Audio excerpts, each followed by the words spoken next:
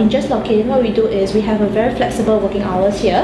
Okay, we do work hard, alright, but of course you can manage your time here.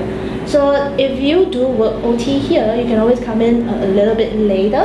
Alright, nobody's going to fault you because what you do is um, as long as you're managing and you're not going to make any mistakes, then it's fine. Every monthly, we actually do three different praises. Praises to yourself, praises to your peers, as well as praises to the company.